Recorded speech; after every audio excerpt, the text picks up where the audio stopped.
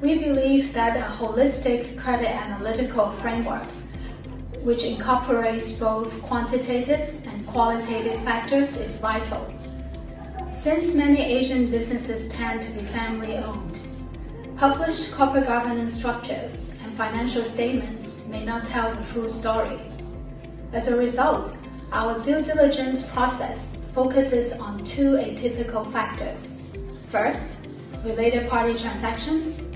Second, a lack of formal corporate governance structures.